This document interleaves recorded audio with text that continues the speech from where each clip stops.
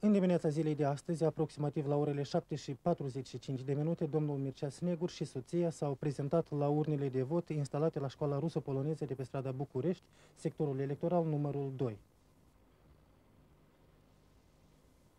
După ce a votat în mod normal, șeful statului a fost rugat de numeroși reporteri să răspundă la o serie de întrebări vizând diferitele aspecte ale realităților social-politice reiterând că nutește speranța în faptul că scrutinul electoral anticipat va desemna o majoritate parlamentară capabilă să promoveze ferm reformele economice, domnul Mircea Snegur a răspuns și la o întrebare mai mult sau mai puțin netradițională pentru un președinte al Republicii.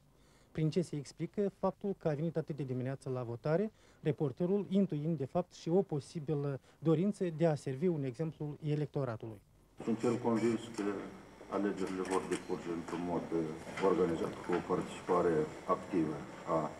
alegătorilor. Faptul că am venit de, de de dimineață, deci uh, se lămurește uh,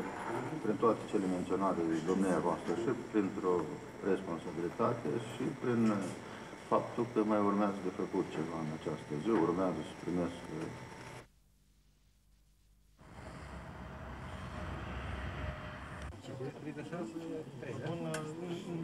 Он меня занесут, но тянет.